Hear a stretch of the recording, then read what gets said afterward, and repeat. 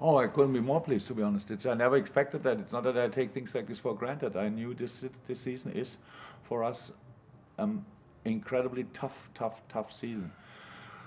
And um, I think really weeks ago, I don't know exactly when, I heard now on Valentine's Day, 14th of February, I learned, um, we was the last time we were in the top four, yeah, because we didn't win a lot of games since then.